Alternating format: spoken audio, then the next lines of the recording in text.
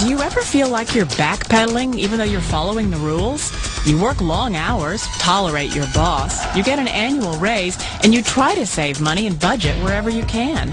Clearly, you're working the known system for financial success, but something is very wrong. The rules are not working. The system has broken down. You're barely making ends meet, let alone getting ahead. And retirement? Forget it. You're living day by day. You want to build financial security and wealth, but it's just not happening. So where exactly has playing by the rules gotten you? If you can change your outlook, change some of your values, and change your rules, you'll find there's a whole other set of rules out there that are more conducive for people who want to be rich. Financial expert, educator, successful investor, and best-selling author Robert Kiyosaki is about to give you the information you need to implement a realistic, achievable plan of building and growing wealth. Kiyosaki is the New York Times best-selling author of, among other books, Rich Dad, Poor Dad. To date, the series has sold 20 million plus copies worldwide. Today, Kiyosaki shares his revolutionary wisdom with you, just as his rich dad shared it with him. It's information that can take you from working for money to your money working for you. Information that can set you free.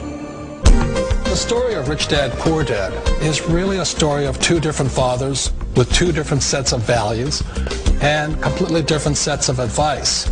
So I don't mean to insult anybody or, you know, to damage your values, but really that was the difference. For example, my poor dad always said, you know, go to school, get good grades, get a high-paying job, work hard, uh, live below your means, save money, get out of debt, have a good retirement plan. That was my poor dad's values. My rich dad said, you probably won't get rich doing that way because very few people get rich following that plan. If you take a look at this 40-year run on the dollar, the dollar is designed economically to lose money every single year. So why would you save something that loses money every year. And what this means for somebody on retirement plans is that after you retire, your, your, the value of your dollar goes down and your cost of living keeps going up. To my rich dad, that was bad advice and made no sense. Again, it was different values. An important diagram my rich dad showed me when I was a little boy was a diagram known as a cash flow quadrant. And the quadrant is made up of the four different people who make up the world of business. So my rich dad said, in the world of business, there's E's. And E's stand for employees. An employee, he says, you can always tell who they are by their core values. And what the employee, whether the president or the janitor of the company, will always say the same words. The words are, I'm looking for a safe, secure job with benefits. That's what makes them an employee because their core values are security. The other, other one of the four is the S, or the small business owner or the self-employed. And again, their core values will cause them to use the same words, which are, if you want it done right, do it by yourself. S means they're also solo. They're generally one person act or they operate by themselves. On the right side of the quadrant are the B's. And what Rich Dad said the B stood for was big business, or like Bill Gates. Forbes defines big business as 500 employees or more. And their words are different. They say, I'm looking for a good system, a good network, and the smartest people I know to help run my business. So they're unlike the S. They don't want to run the company by themselves. They want smart people to run their companies for them. And then the fourth of the quadrant is the I, and I stands for investor. These are people who have money work hard for them. These people are people have people work hard for them. And these are the people that work hard for the rich here. So early on in my life, it was my, my poor dad who always said to me, you know, Robert, go to school and get a high-paying job. And so my poor dad's core value was to be an employee. He wanted job security, promotions, a steady paycheck, and all this.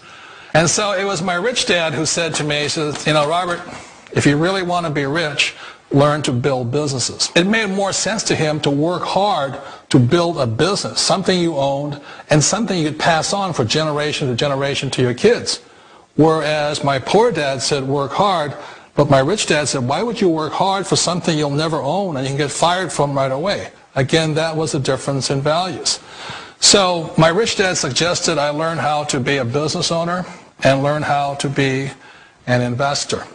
And that's one of the big differences. On this side of the quadrant, these people here work for security. They work for money also.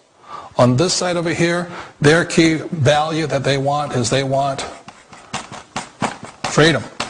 They don't want to have to work at a job anymore. They don't want to have to work for the rest of their lives. So the beauty of building a business and learning how to invest is very simply that this is passive income. You work hard for a few years, but possibly for the rest of your life, income keeps flowing to you.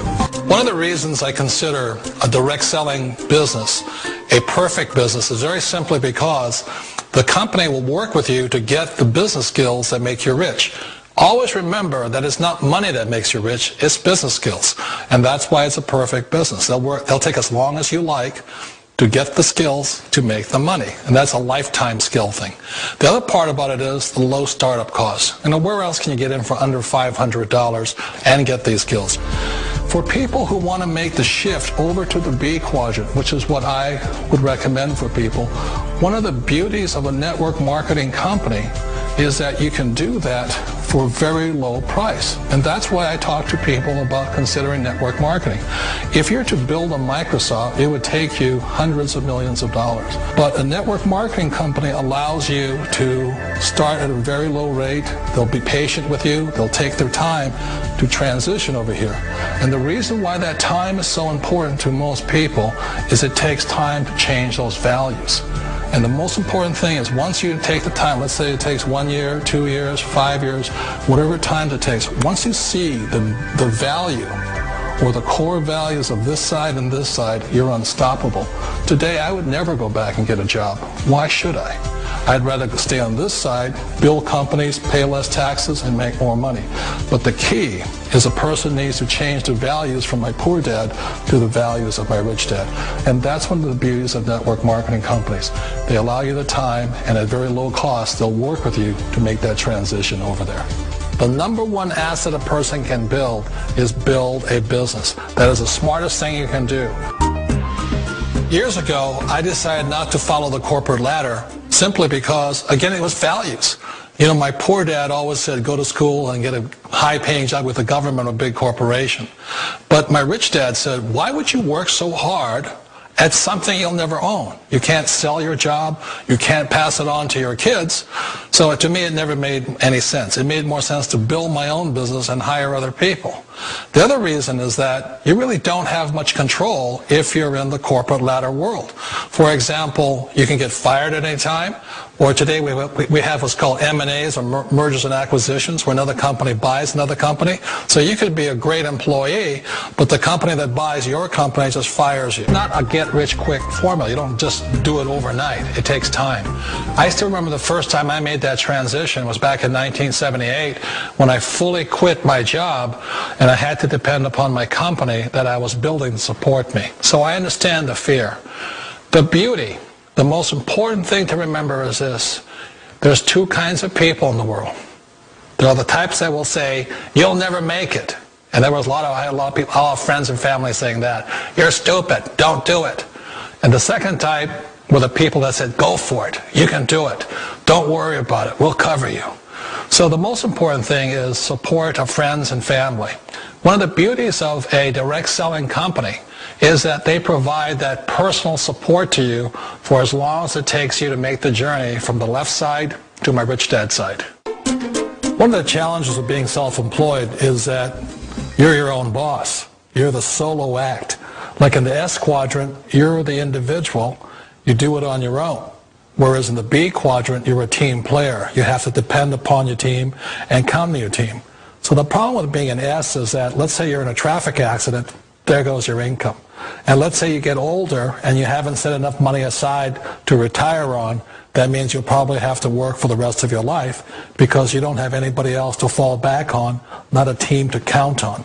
So one of the problems with the S, although most people say it's the most satisfying of all work, it is a solo act, and you're totally on your own. Personally, I'd rather be a member of a team if they can count on me and I can count on them. We all know the world has changed, but sometimes the hardest thing to change is ourselves. And being an old guy, I sort of know the older I get, I sometimes get more set in my ways. And I think that's one of the things that a direct selling business offers people, why it's the perfect business. They allow you to take your time to make the mental, emotional, and physical changes required to move from the left side to the rich dad side. I think that's a big thing. It's a very gracious, it's a very elegant way, it's a patient way of supporting you in making the changes of your life. So please remember, change always creates upset, but sometimes we all know we have to make those changes. And if you know it's time for you to make that change, then the perfect business may be a direct selling business for you.